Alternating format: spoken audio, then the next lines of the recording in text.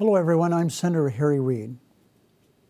Beginning on October 1st, thanks to Obamacare, Nevadans wishing to purchase health care can do so on the health insurance marketplaces, commonly referred to as exchanges.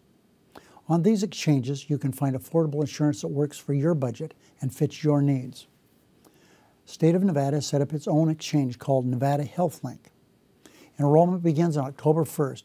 You can fill out one streamlined application on nevadahealthlink.com.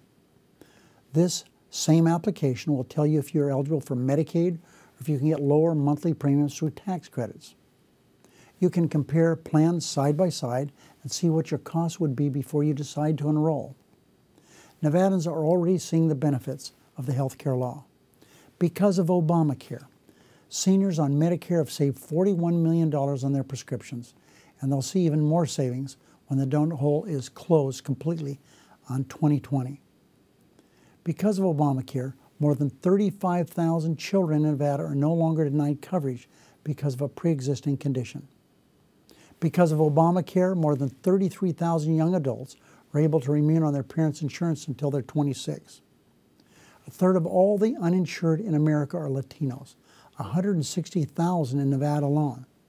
They'll be eligible for insurance coverage through the exchange. If you're a Nevadan who needs health insurance, make sure to visit nevadahealthlink.com after October 1st to fill out your application.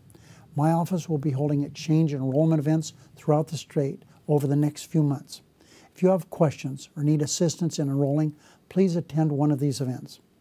You can always call my office or visit my website, reid.senate.gov, if you need assistance. Thank you very much.